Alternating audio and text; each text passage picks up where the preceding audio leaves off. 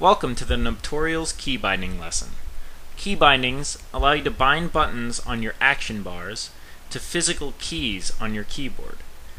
Hitting a key-bound key will use the ability that's placed in the corresponding button.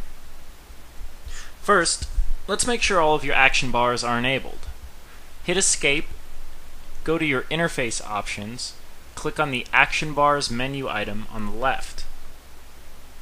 Make sure the bottom left bar, bottom right bar, right bar, and right bar 2 are all enabled. You're also going to want to unlock your action bars for when you're setting everything up. Here's a diagram of the bars you've just enabled. Let's try to set up some key bindings to buttons on the bottom left action bar. It's circled in yellow on your screen. Hit Escape and click on the key bindings option.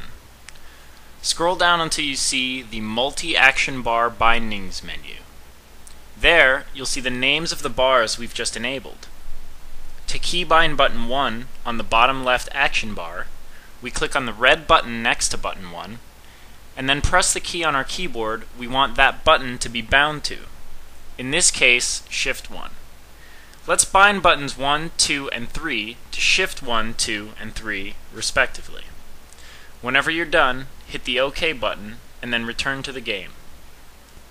You'll notice an abbreviated S1, S2, and S3 will appear on the buttons we've just keybound. These abbreviations obviously stand for Shift 1, Shift 2, and Shift 3. Now, you can drag abilities you want to use with those key bindings into those buttons, and whenever you press Shift 1 on your keyboard, it'll use that corresponding ability.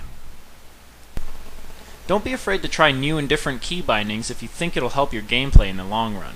It always takes a little bit of practice before getting used to new settings and controls.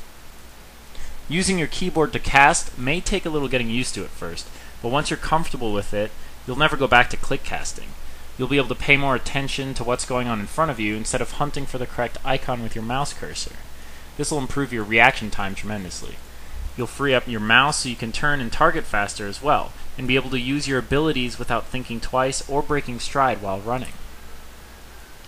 I urge everyone to play around with your key bindings a lot. Think of the abilities you use most often, and bind those abilities to the most accessible keys on your keyboard. Think about which abilities you can or can't use while on the run. If you have a particular cast rotation, try putting them in the same order on the bars. Don't waste valuable keyboard real estate on abilities that you don't use in combat. Try binding some abilities on your mouse as well. The mouse wheel alone provides three bindable options mouse wheel up, mouse wheel down, and mouse wheel click. You can open up these options by moving the zoom function to Alt mouse wheel up and down, or Shift mouse wheel up and down. Keep tweaking your key binding settings until you're able to use all of your combat abilities, while moving if possible, without clicking on a button or looking down at the keyboard at all. I hope this video has helped, and thank you for watching.